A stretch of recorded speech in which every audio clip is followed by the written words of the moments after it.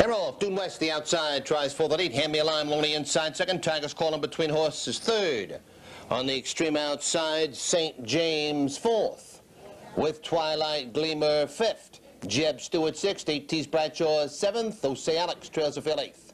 Around the turn down the backstretch, Dune West in front by a length. St. James on the outside second. Hand me a lime along the rail third. Tigers call fourth.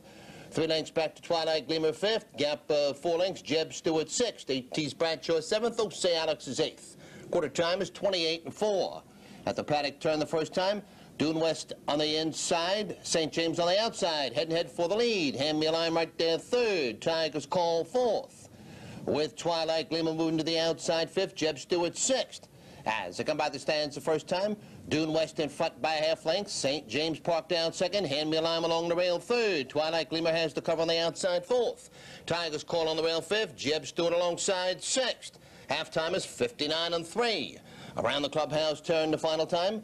Dune West still in front by three parts of a length. St. James the outside second. A lime along the rail third. Twilight Gleamer the outside fourth. Tigers call on the rail fifth. Jeb Stewart the outside sixth. AT's Bradshaw seventh. Three lengths back to Osei Alex eighth.